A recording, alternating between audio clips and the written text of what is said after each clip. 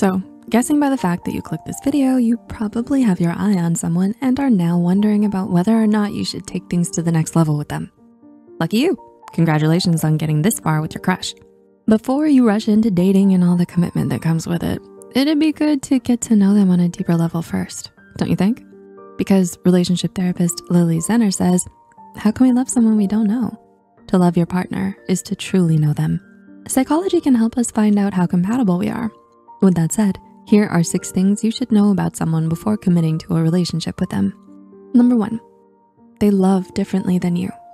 Love language, a term coined in 1992 by relationship therapist Dr. Gary Chapman in his book, The Five Love Languages, The Secret to Love That Lasts. It refers to all the different ways we express and receive love from one another. This can be either through physical touch, words of affirmation, gifts, acts of service, or quality time. According to dating coach Lori Salkin, people do not need to speak the same love language to succeed as couples. Rather, they need to understand the love language their significant other speaks. That is not easy. It requires understanding the person and how they're different from you. So knowing your crush's love language is an important part of making sure they feel loved and appreciated because what feels loving to you might not necessarily feel loving to them. Two, if your values align. Another important thing you should know before taking the next step with your crush is if your values align with theirs.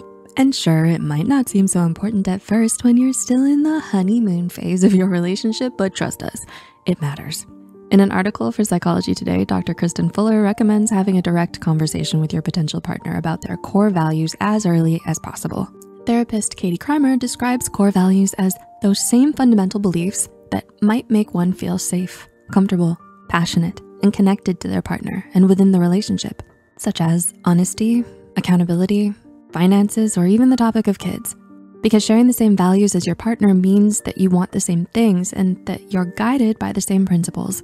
It also allows you to connect with them on a deeper level and have an easier time understanding their point of view. This doesn't always mean a relationship is doomed. In fact, it can be the beginning of a discussion and exploration of each other's values and a way to build curiosity about the other, Kramer says. Three, how their past shows up in the present. According to Dr. Nicole LePera, founder of The Holistic Psychologist, romantic relationships activate our attachment wounds.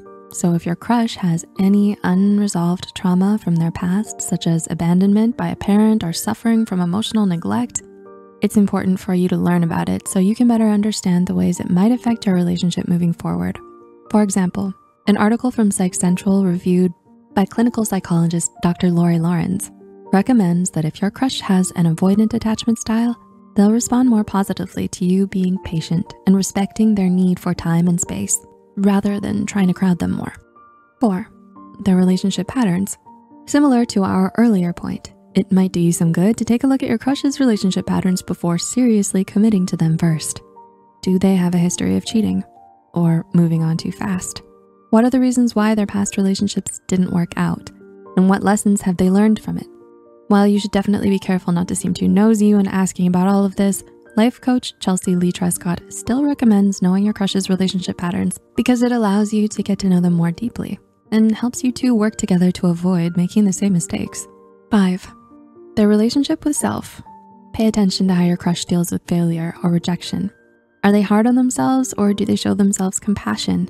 Do they blame others or are they able to handle it constructively? Do they bounce back after a setback or just give it up altogether?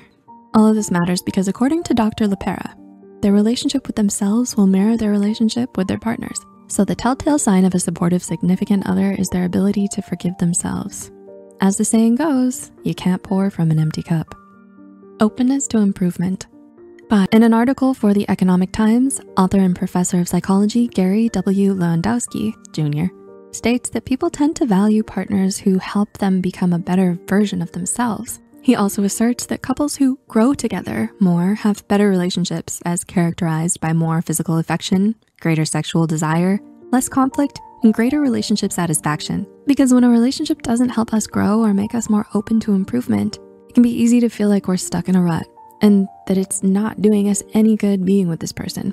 Hence, Dr. LePera recommends assessing first if your crush is able to listen well, take feedback constructively, and openly communicate rather than simply avoiding their problems or deflecting, denying their mistakes. To summarize, Having strong feelings for your crush doesn't necessarily guarantee that you two will be compatible for one another and that dating them will be all smooth sailing. Asking them questions related to these six things we've talked about here can go a long way in helping you to understand one another on a deeper level. So do you think you really know your crush well enough to start dating them? Or is there still more you need to find out first?